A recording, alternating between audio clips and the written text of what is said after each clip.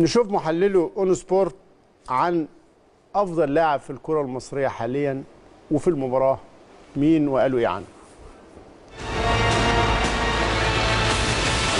كان عنده فجأة سعيد مع وليد سليمان. وليد سليمان رائع لاعب رائع جدا. نجم طبعا هو ونجم بس الفترة اللي فاتت أنا آه أنا كنت متخيل وليد. سليمان آه بالظبط. كنت متخيل الأهلي هيتأثر جامد برحيل عبد الله السعيد لكن وليد سليمان مش هقول عاد اكتشاف نفسه إن هو لعيب كبير لكن فعلا بقى لعيب ليه مسؤوليات ضخمة أو مش مجرد جناح خطير لا ده بقى لاعب بيمسك كورة بيتحكم في النسق. فلاعب أنا يعني بصراحة بقدم التحيه على الفترة اللي فاتت. متفق معاك تماما في لأن- الحتة دي لأن أنت. عارف الأهلي كان عنده عبد الله السعيد ووليد اثنين لعيبة من اللي بيقدروا يصنعوا الفارق ويغيروا الريتم بتاع الماتشات ويتحكموا في إيقاع المباريات وهكذا. بمشيان عبد الله هو كل الحدوتة إن وليد بقى ما عنده مسؤوليات أكتر بس. النظرية بقى وهنا النقطة اللي أنا هاخد منها من كلام أيمن برضو. كارتيرون والكرات القطرية.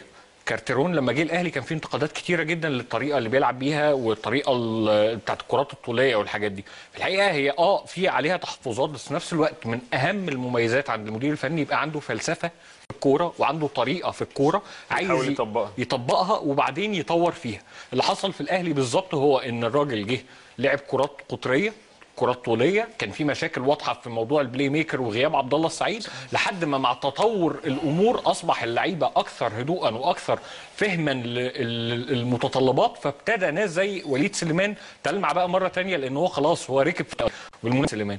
لأن الكرة القصيرة اللي بيلعبها عبد آه، حسام البدري كان مع الأهلي مثلا محتاجة حد زي عبد الله السعيد. اللي هو النهارده مثلا وليد سليمان مراقب في المباراة تماما في بداية المباراة.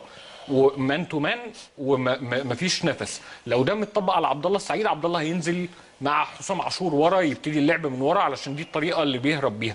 إنما مع الكرات الطولية وليد سليمان كان بيهرب على اليمين فهو بيلاقي نفسه أصلا لأن هو أساسا wing يمين. يهرب ناحية الشمال هو بيلاقي نفسه في ال- في المساحات دي. فالطريقة بتاعت كارتيرون هي اللي أنعشت وليد سليمان وخلت وليد سليمان يطلع أفضل ما عنده. وليد سليمان كورته غير طبيعية في الحقيقة.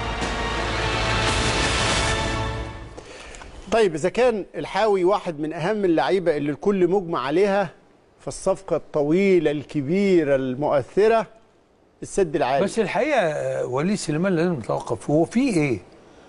عاشور يبقى مسمار الدفاع طول السنة في كل الاستفتاءات ومحور الأداء التكتيكي ويروح مفيش مع منتخب مصر حظوظ.